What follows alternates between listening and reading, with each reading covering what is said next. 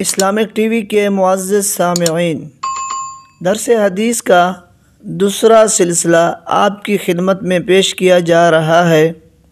आज हम आसार क़्यामत, यानी क़्यामत के फ़ितनों के बारे में बात करेंगे कि जिनके बारे में अल्लाह के पैगंबर सल्लल्लाहु अलैहि वसल्लम ने हमें अपने सहाबा को और अपनी पूरी उम्मत को ख़बरदार फरमा दिया था। आज की इस वीडियो में हम बात करेंगे उस फितने के बारे में जो आज के ज़माने में बहुत ज़्यादा हमारे मुल्कों में ख़ास तौर पर इस्लामी ममालिक में फैल चुका है। इससे पहले आपसे गुजारिश है कि अगर आपने अभी तक हमारा चैनल सब्सक्राइब नहीं किया तो इसको सब्सक्राइब कर दीजिए। तो चलते हैं आज की इस दरस हदीस की तरफ़। आज हम जिस फितने के बारे में बात करेंगे, वो है कौमियत और वतनीत का फितना, यानी कौम परस्ती और वतन परस्ती। आपने मुल्क पाकिस्तान में भी देखा होगा, हमारे कॉलेजों में, हमारे यूनिवर्सिटियों में, हमारे तालीमी इदारों में आए रोज़ मुख्तलिफ़ कौमों के फ़ंक्शन होते हैं। मुख्तलफ़ कौमों की मजालस होती हैं। किसी बलोच की, कहीं सराइकियों की, कहीं पठानों की, कहीं इसी तरह मुख्तलिफ़। तो इस्लाम में इस चीज़ का क्या तस्वर है? और क्या ये जायज़ है? आपने ऐसी पार्टियाँ भी देखी होंगी कि जो खालसता ज़बानों पर और कौमों पर बनाई गई हैं। जैसे महाजरों की आप देखेंगे, अलग जमात होगी, सराइकियों की अलग जमात होगी, सिंधियों की अलग जमात होगी पख्तूनख्वा अलग जमात होगी, बलोचों की अलग जमात होगी। तो इस्लाम में इस चीज़ का क्या तस्वर है? दोस्तों हमारे प्यारे नबी सल्लल्लाहु अलैहि वसल्लम ने कौमियत और वतनीत के फितने को इस्लामी उम्मत के लिए, मुसलमानों के लिए, इस्लामी वादत के लिए ख़तरनाक करार दिया।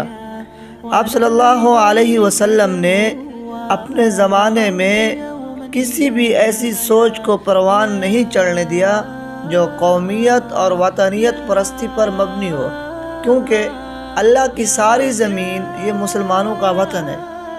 और इस्लाम अल्लाह का दीन है। तो आप सल्लल्लाहु अलैहि वसल्लम ने ऐसी बातें इरशाद फरमाई इन फितनों के बारे में कि अगर कोई इंसान उनका मुताला कर ले तो वो इंसान इन फितनों से महफूज रहता है।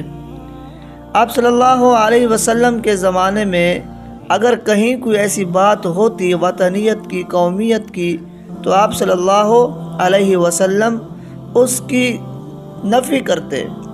एक मरतबा आप सल्लल्लाहु अलैहि वसल्लम अपने खैमे में आराम फरमाते तो बाहर सहाबा के लड़ने की आवाज़ें आईं। जब आप सल्लल्लाहु अलैहि वसल्लम बाहर निकले तो सहाबा के दो गिरोह आपस में लड़ रहे थे। अल्लाह के पैगंबर सल्लल्लाहु अलैहि वसल्लम ने जब पूछा तो हजूर को पता चला कि एक सहाबी ने दूसरे को उसकी कौम का ताना दिया तो दूसरा सहाबी गुस्से में आ गया। जब अल्लाह के पैगंबर ने ये बात सुनी तो आप सल्लल्लाहु अलैहि वसल्लम ने गुस्से में सहाबा को फरमाया कि अभी तक तुम लोगों में जाहलीत की बातें मौजूद हैं। तो यानी आप सल्लल्लाहु अलैहि वसल्लम ने कौमियत की बातें, कौमियत के ताने मारना, फ़िक्र कसना, आप सल्लल्लाहु अलैहि वसल्लम ने इसको जहलीत की बातें करार दिया। दोस्तों, इसी तरह वतन की मोहब्बत क्या इंसान के दिल में होनी चाहिए और इस्लाम में इसका क्या मकाम है?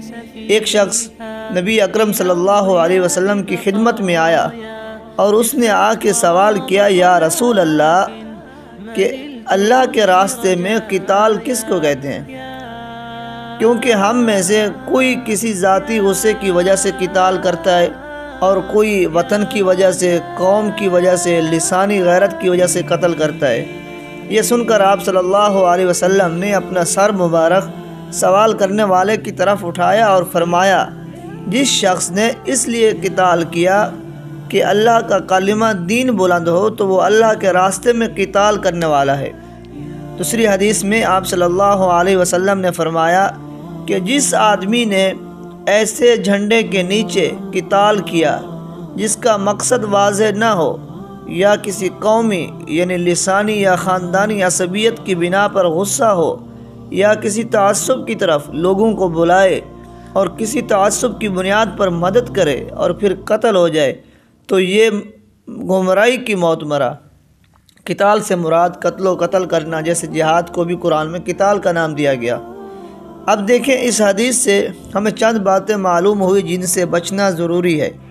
नंबर एक, कि जो कोई ऐसी जंग लड़े जिसका मकसद वाज ना हो, जिसका नतीजा वाज ना हो, या ये इल्म ना हो कि वो क्यों और किस लिए जंग कर रहे हैं तो इससे बचना चाहिए। नंबर दो, किसी भी किस्म का तसब मसलन कौमी, लिसानी, वतनी, ख़ानदानी, इनमें से किसी की बुनियाद पर गुस्सा होना अल्लाह के पैगंबर ने इससे मना कर दिया। नंबर तीन मस्कूरा चीज़ों में से, यानी कौम की तरफ़, ज़बान की तरफ़, वतन की तरफ़, किसी तरफ़ भी लोगों को दावत देना या जमात बनाना, यानी लिसानी जमात बनाना। अब सिंधी हों तो सिंधी ज़बान वाले अपनी जमात बना लें, इसी तरह दूसरे फ़िरकों वाले अपनी जमात बना लें। इसी तरह कौमियत की बिना पर, यानी जो कौमें होती हैं, उनको भी सिर्फ़ कौम की बुनियाद पर जमात बनाना अल्लाह के पैगंबर ने मना कर दिया। इसी तरह, अब ये ना हो कि बाज़ लोग हमारे मुसलमानों में ये खामी भी पाई जाती है कि अगर कोई मुसीबत में हो, अगर वो हमारी अपनी कौम का हो तो हम उसकी ज़रूर मदद करते हैं। और हम बाहर जाके बोलते हैं, जैसे गैर मुल्क में जाके तो दूसरे ममालिक में जाके हम लोग बोलते हैं कि ये हमारे वतन का है, ये हमारी ज़बान का है, हमारी मदद करना इसका फ़र्ज़ है।